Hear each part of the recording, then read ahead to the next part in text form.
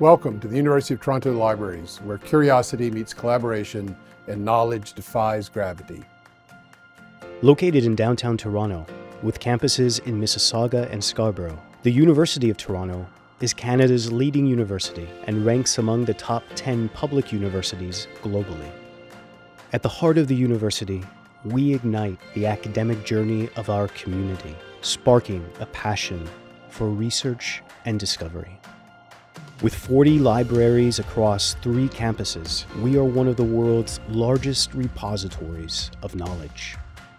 Among our many libraries is the globally renowned Robarts Library. Italian novelist Umberto Eco used Robarts as the basis for his book, The Name of the Rose. Robarts was featured in Resident Evil Afterlife and appeared as a hospital in Friends. Recently, Star Trek Discovery filmed in our celestial domain. The role of libraries is evolving.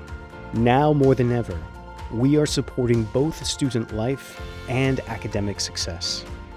We introduced one of the university's first gender neutral bathrooms, a reflection and prayer room, and a dedicated family study space, the first of its kind in Canada.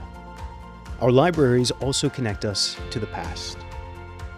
We house a Babylonian cuneiform tablet, Shakespeare's First Folio, in the archives of Leonard Cohen, Margaret Atwood, Marshall McLuhan, and Derek Walcott.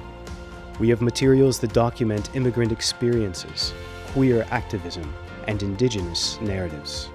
These collections help us remember where we've been as we prepare for a more just and equitable future. We provide a platform for diverse storytelling, connecting research and collections with broader communities through lectures, exhibitions, and presentations.